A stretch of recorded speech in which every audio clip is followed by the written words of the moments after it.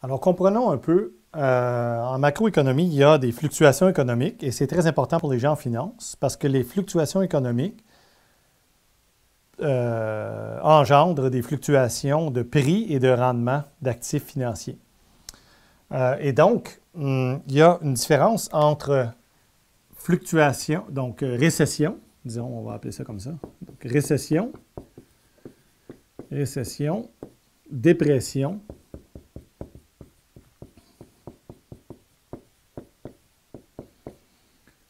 stagnation, stagnation, et de, bon, il y en aurait un autre, mais comme normalité, tu donc quand les choses sont à peu près normales.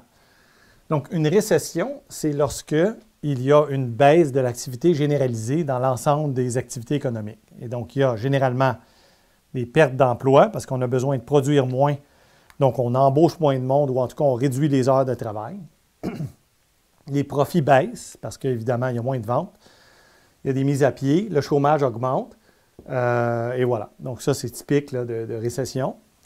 Et c'est généré par un ensemble de facteurs pré-récession, donc qui arrivent.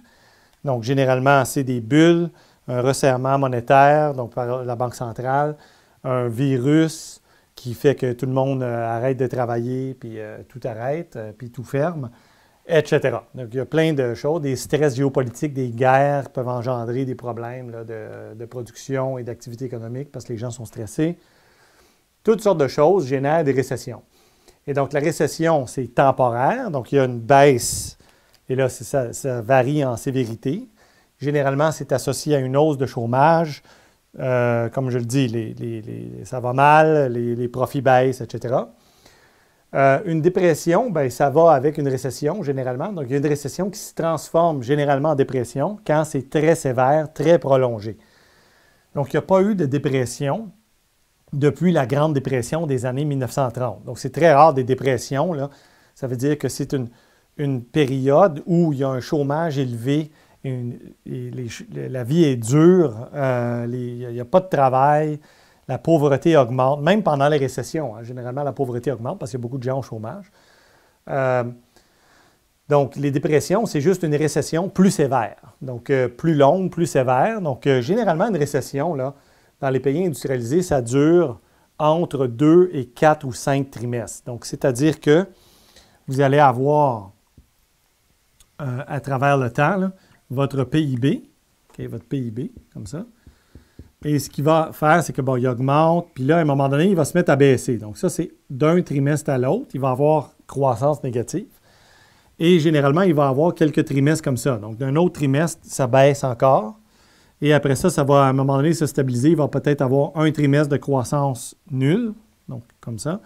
Et par la suite, ça va recommencer à augmenter. Et donc, par rapport à la tendance de long terme, évidemment, ça va prendre peut-être longtemps avant de retourner à la tendance de long terme. Donc, vous avez des récessions, donc contraction de l'activité économique, et des dépressions, que ça, c'est très long, très long, avant de retourner à la, tendance de long terme.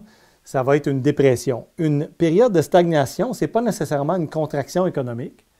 C'est qu'il y a tellement, il y a, de la croissance économique, exemple 1% mais il y en a très peu. Il y a très peu de croissance économique. C'est petit à petit. Et donc, il y a peu de création d'emplois il y a peu de. Donc, des fois, s'il y a plus de gens qui arrivent dans le marché du travail chaque année qu'il y a de création d'emplois, même s'il y a de la création d'emplois, on s'entend, disons que tu crées 100 000 emplois cette année, mais qu'il y a 200 000 gens, nouvelles personnes, les finissants universitaires, les immigrants, etc., qui veulent du travail. Mais ça ne marche pas. Il y a 100 000 nouveaux emplois, mais il y a 200 000 nouvelles personnes qui veulent travailler. Et donc, le chômage peut augmenter en même temps qu'il y a de la croissance économique, donc le PIB augmente quand même, et il y a création d'emplois. Ça peut arriver, c'est des phénomènes qui peuvent arriver. Et donc ça, c'est des périodes de stagnation. Et donc, dans les récessions, les dépressions, le chômage augmente beaucoup, beaucoup d'un coup, et généralement, il baisse par la suite au fur et à mesure que la reprise se fait.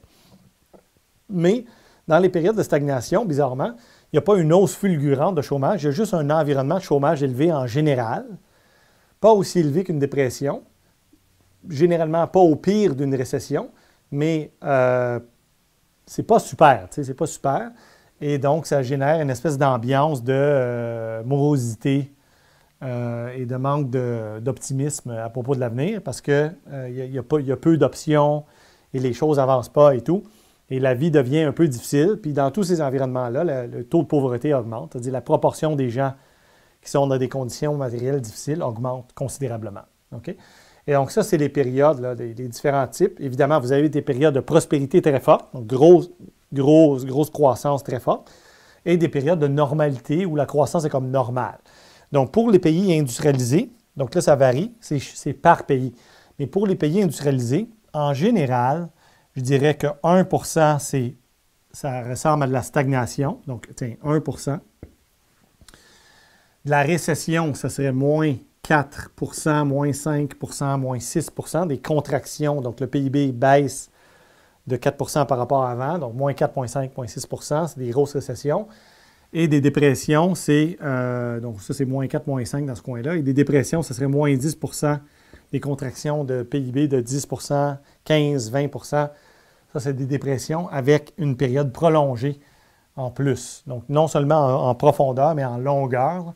Et la normalité, la normalité, donc normale, normal, pour les pays industrialisés, généralement, c'est 2% de croissance économique maintenant. Avant, c'était 3-4, mais euh, généralement, maintenant, c'est 2. Et la raison est très simple, c'est que euh, la hausse du nombre de travailleurs est moins forte qu'elle l'était parce que pendant les années 60, 70, 80, 90, il y a eu une hausse fulgurante de l'arrivée des femmes dans le marché du travail. Donc, ça a augmenté tout simplement le nombre de travailleurs, n'est-ce pas? Donc, le potentiel de production augmentait. Et il y avait des bons gains de productivité jusqu'à les années 90. Depuis ce temps-là, les gains sont plus limités. Euh, la productivité est quand même élevée, mais euh, donc elle ne baisse pas, mais elle augmente moins vite. Et donc, à cause de ça, ben, la normalité a passé de plutôt des taux de croissance là, de 4-5% avant à 1-2% euh, aujourd'hui. 2-3% ça varie selon les pays. Pour le Japon, la normalité, c'est 1% euh, parce qu'ils n'ont absolument pas de croissance démographique. Ils ont même une décroissance démographique nette, donc c'est-à-dire moins, de moins, moins en moins de euh, travailleurs de 15 à 64 ans, qui est les gens les plus actifs dans le marché du travail.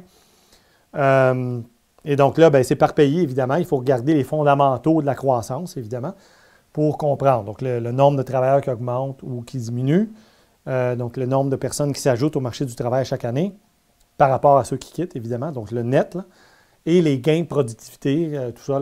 Donc ça, c'est étudié dans les cours sur la croissance de long terme, qui n'est pas vraiment le, but de, de ce cours-ci. Et pourquoi je parle de fluctuation économique ici, c'est parce que lorsque on anticipe, donc les marchés, plus ça devient évident qu'il va y avoir une récession, à l'intérieur, généralement, c'est à l'intérieur d'un an.